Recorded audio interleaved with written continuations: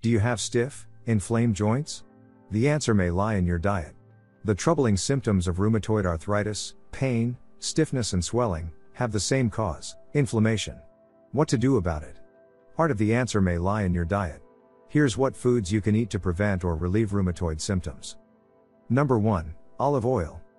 Researchers have become interested in the anti inflammatory effects of olive oil because people who eat a traditional Mediterranean diet and consume a lot of olive oil appear to have fewer inflammation related diseases, such as degenerative joint disease and diabetes.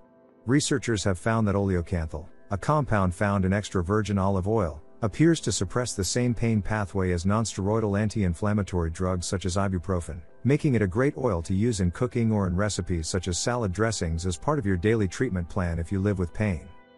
Number 2. Berries. Experts recommend including one or more servings of fresh or frozen berries such as blueberries, raspberries, strawberries, blackberries, or blueberries in your daily diet. These small fruits contain powerful antioxidant compounds such as proanthocyanins and ellagic acid that fight inflammation and cell damage. The amount and combination of compounds vary depending on the type of berry, so look for variety. Number 3 Carrots. Also add carrots, squash, and sweet potatoes to your rheumatism shopping list.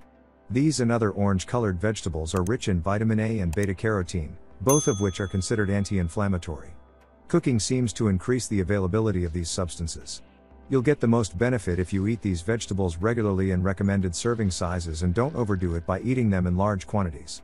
One serving of carrots is equivalent to half a cup, or about one large carrot or 7 to 10 baby carrots. Number 4 Whole grain products.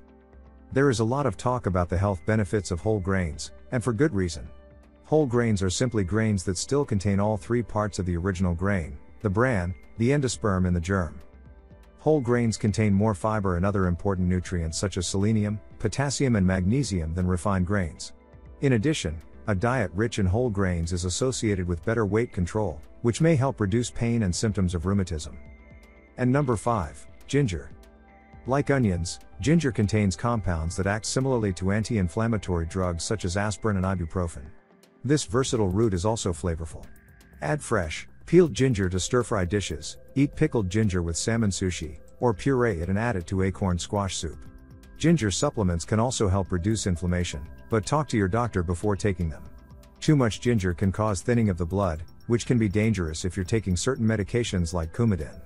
It can also lower blood sugar levels, which increases the risk of hypoglycemia.